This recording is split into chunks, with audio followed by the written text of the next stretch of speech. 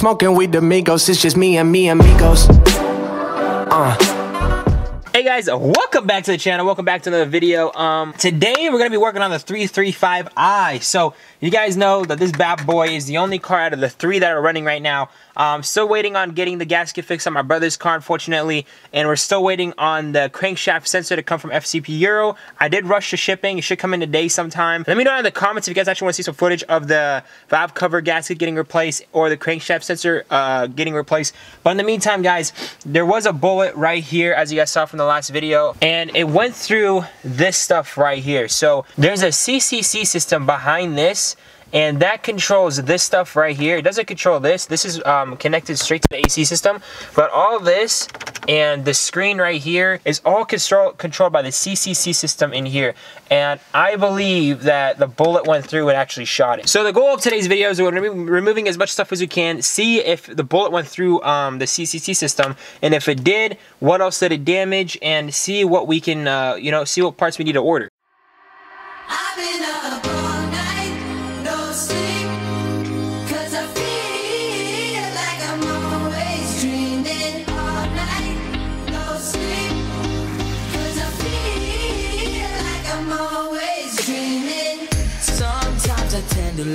Alright guys, now we're here.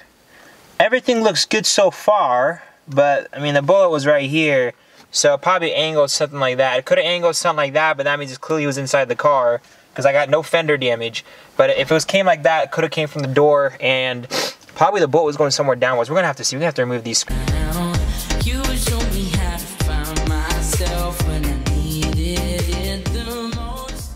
Alright guys, so after unplugging it, I have officially came down to the conclusion that this has been shot up.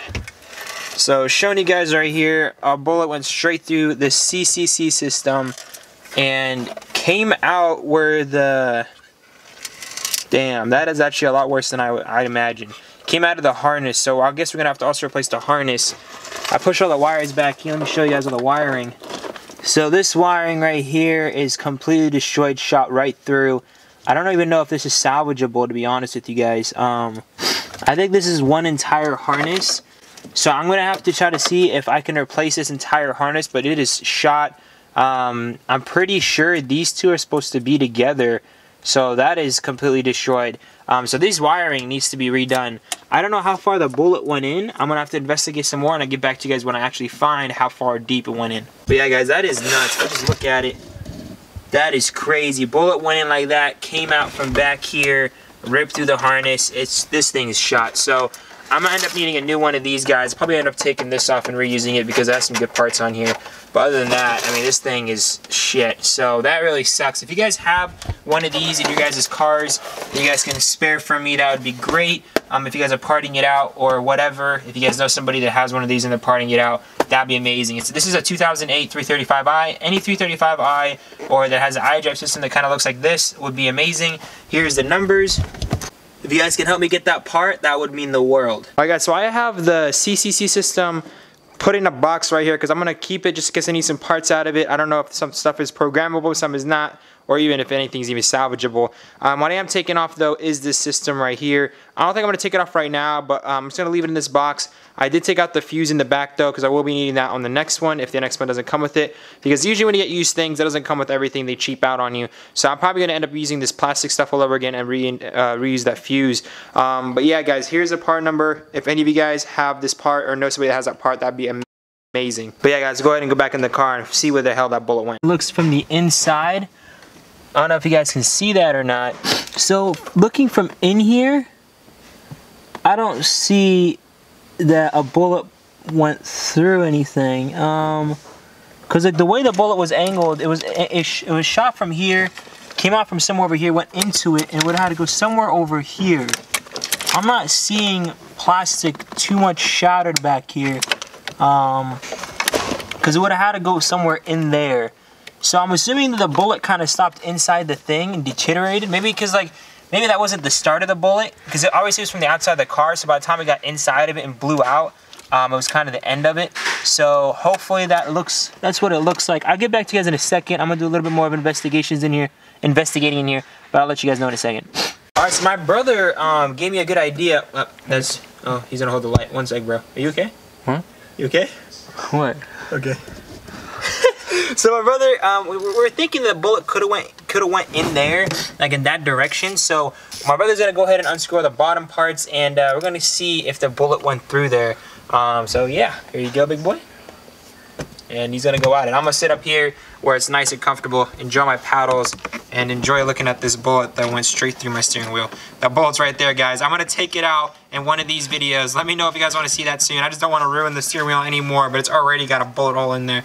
But yeah, I could figure out what kind of gun was used in this shooting through this little pocket right here. Right, guys, good news is it looks like the bullet stopped within the uh, within the actual CCC box because the bullet came from the outside of the car, went through this, it probably went in there, it probably disintegrated by the time it went in there. So it doesn't look like much bullets are, you know, uh, it doesn't look like it punctured through anything else. My brother's gonna be uh, digging in a little bit more, but I think we're good. And I think we just have to replace these wires right here. I have to see how far back these wires connect to. All right, that's Christina back there. I don't know if you guys can see her, but I don't care about her anymore because I love Bullet over here. Bullet over here takes 11 bullets and it runs and drives and it does that beautiful thing right now.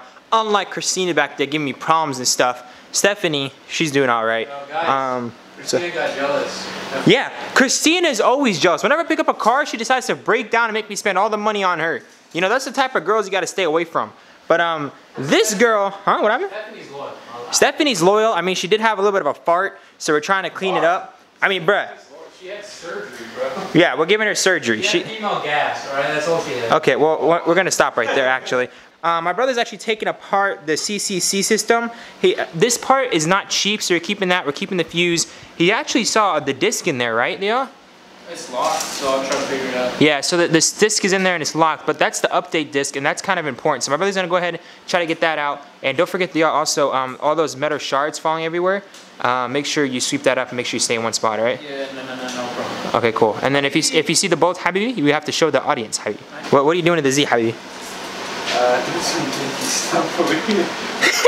He's cut this off. He's just over here using a drill and everything, trying to cut through the steering. I don't know what he's doing. Anyways, honestly, yeah, what I don't know. Who cares at this point? All right, we're gonna wait on these guys doing there. Um, but we just found out my brother digged in, deep into the dash. It looks like no bullets went through there, which is great. Um, so all we gotta do is figure out the name of the wires. So I'm gonna go ahead and track down how far those wires go um, into the console and we'll see how much those cables are. I'll show you guys the prices and everything. All right guys, so as you guys can see, all that's gutted. Um, it turns out I actually have to move that center console to get to that cable. I don't know how far that cable is, like how deep that, that cable is going, but I need to get to that cable. So I removed the center trim. I'm gonna have to remove that center console. As you guys can see, all this stuff is ruined anyway. So I'm gonna tear this out, probably end up throwing it away, to find a junkyard to throw it away. Um, but yeah, I will be putting this seat back in because I need something to dry, but I don't think I need a center console right now. Um, but yeah. So yeah, guys, I'm gonna go ahead and remove that center console. I'll get back to you guys once that is out. But uh, also, what I'm doing, because you guys can see the CCC systems right here, um, I'm actually labeling all the screws. So I'm taping it up, and then I'm labeling the screws um, so I can put it in a bag, and uh, I'll know where all the screws belong when I put the center console and everything back together.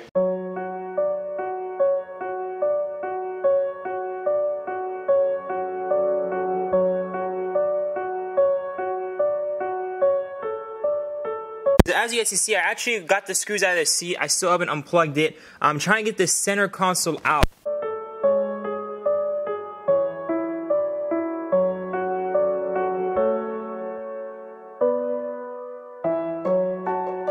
Got darker parts of my mind, yeah. Got darker days in this grind, yeah. Never pay no mind to what I hate to say. Criticize myself more than anybody anyway. Living dreams, but these nightmares keeping me awake. Demons whisper. Guys, so this is day two of working on the 335i. Actually, you guys, are, if you guys follow me on my Instagram, you guys will be knowing that I'm doing the valve cover gasket on the 328. Um, and actually, we finished it, but once we put it all back together and started starting up the car, we saw a lot of unusual smoke, and the engine sounded a lot louder than usual. So we don't know what's going on with that. I'm not, I'm no expert mechanic. Um, we tried we didn't ruin anything. Worst case, it needs a new valve cover. Um, so we're gonna have to tow it down to the shop, tell them we attempted it, tell them what happened, and hopefully they can go from there. The 330i still has a crankshaft positioning sensor issue. I don't know if I mentioned that in the last video, but yeah, that car doesn't drive either. It's in limp mode. So you guys know the BMW struggle. Um, but yeah, this is the next day, and um, I traced the wires back for the CCC system. The wires actually go underneath the seat, and it follows, like the wires are like 10 wires, and then they all of a sudden turn into like 100 wires underneath the seat. So um, that's a no can do. So what I'm thinking is when I pick up a CCC system from like a pick and pull yard or something like that, when I find one on a, you know, a similar model, I'm gonna go ahead and cut off the harness that's currently on that current CCC system so I can keep the harness and just rewire the wires to the same wires on the car because the wires are all there, it's just um, the harness is broken so I have to purchase a new harness um, and I don't think we can sell those separate to be honest. So I'm just gonna try to find one uh, that's currently in a car, uninstall it myself, cut off the wires behind it and just, you know, rewire everything myself. Shouldn't be that hard. I mean, uh, the hardest part of any car is the engine, so thankfully it does start up and run. It is having a service engine light. I'm gonna go ahead and get the codes down, send it to BMW Fanatic. If you guys don't know him, he knows like pretty much everything about these cars, and um, hopefully can help me and tell me what I need to do exactly to remove that service engine light because that is the most concerning light as of now. But yeah, guys, let me show you how the interior looks right now. It's kind of crazy. So this is how the interior is looking yesterday. As you guys saw, Jonathan was vacuuming up with the glass yesterday. Good guy. Got all the glass and everything out, the seats out just the just the driver's seat. Um, obviously, I'm going to be replacing that one, but that one is the driver's seat, so I need it. Something I've learned guys, when the battery is connected, make sure you don't unplug anything because I saw my windshield wipers go crazy, my key wouldn't work, I couldn't start up the car, it was just doing all kinds of crazy stuff. So I think I short circuited the battery or something, I ended up taking the battery back, got a new one, everything is good again. I'm gonna go ahead and read the codes, I'm just gonna go ahead and put the few more bolts in the back for this driver's seat, make sure the driver's seat is in good standing condition. I don't really care if there's any seat here, I might just go full race car, who knows, because all these door panels and everything has gotta go. So you never know what I'll turn this car into. But uh, I do want the CC system to work so I can use that navigation dash for like codes and stuff like that, any errors, because that's important. But yeah, in the meantime, guys, we can go ahead and put those two screws in, read the codes, and uh, tell you guys what the codes say. Also, I think I'm gonna go ahead and install the AC system since I do feel like that's important. Guys, honestly, I dig race car mode. Just like having the AC and leaving all this gutted like that looks dope. Anyways, yeah, so that's hooked up. I just need to make sure I have AC. I'm going to go ahead and start reading the codes. I got to get the Carly adapter, so I'll be right back. I got to get the keys from upstairs. It's not too shabby. Yes, on me. Don't worry. Look at my dad being super nice. I appreciate that. Okay, so we're to go to here to diagnostics. You guys can see I have a service engine light. I do have an airbag light right now, which I'll be clearing right now. It's just, actually, I probably won't be able to clear that since this seat's unplugged. Um, but yeah, the airbag light is because of that. Um, seatbelt lights because I don't have my seatbelt on. The brake light is because I have the e-brake up. But I think the brake pads are also worn on this car. Um, but the ABS, traction, and service engine, I have no idea why all three of those are on. So that's what we're diagnosing today. I'm to go to E90. Um, it's kind of it gets kind of confusing um, because the preset's E90 for me, but I have two of them, so I have to change the year every time. See, it's an 06 right now, so I have to go to 08 and then go ahead and connect. I'll get back to you guys when I'm actually reading the codes. Alright guys, I need some help with this. I am having a service engine light, but as you guys can see, I don't have any motor codes. So I don't understand what that means. It does say I have a, in my service info on the car, it's saying I need to do an oil change in 1600 miles. Maybe that has something to do with it. My brakes it's saying some random rear wheel speed sensor. Maybe that got shot out. Who knows? Um, airbags. Airbags is you know there because obviously there's no seats, so I'm not really worried about that right now. Um, instrument cluster, EC. I'm guessing that's stuff to do with this all being unplugged and the CCC system being all messed up. And yeah, it's all random system and door antenna. Well, I know a lot of the doors don't work, so we'll have to figure that down the road. And this is a lot of battery stuff just because I got a new battery. So I ain't really worried about it. Alright guys, so I'm a little bit sweaty because the inside of the car. But as you guys see, I have some random codes. It does say service engine, but it's not giving me any engine faults, which is a really good sign considering this is an N54 and the 328's having engine issues and the and the 330i's having crankshaft issues. Um, I hope you guys don't jinx me anymore because I'm true I own two BMWs, but I eat shit on both of them. So please please um, lay off a little bit because I, I, can't I can't afford anything else breaking down. For you Arabs, I think you guys know what I mean about the the whole um, how do you say it? Uh, an an, an an, or um, a nefis. So if you guys are Arabs, you guys will know what that means. Uh, but, but yeah, basically um, every time I get a new car, my 330i decides to break down Maybe because I always compliment the new car, and the 330i is just really upset with me. Um, I I don't know. I really, I really don't know.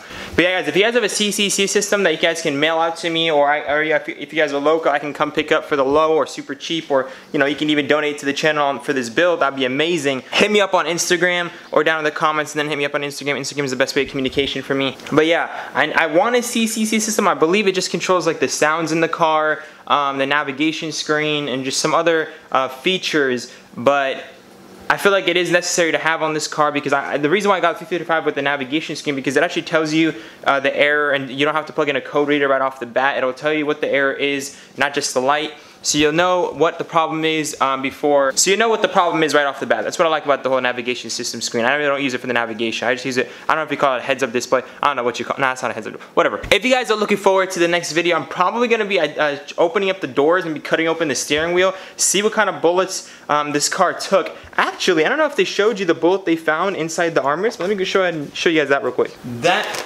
that is the bullet we found inside the armrest. There's not really much left of it, but that is one piece. I'm gonna I'm gonna collect all the pieces in that thing. If you guys can help me out with any parts in the interior of the car would be amazing. Um, any parts in the trunk would be great. Any trunk lights, any parts at all, even stock brake lights, any of that stuff just to get headlight and brake done so I can get this on the road. That'd be amazing. Anything at all would be amazing. I love you guys. Remember to stay humble and I see you guys in the next one. Peace out. She got me saying. I need you to see me. Quit with the front and then put your guard down, girl. We know you ain't easy. She got me saying, Yalla, baby. I need you to see me. Quit with the front and then put your guard down, girl. We know you ain't easy. You know.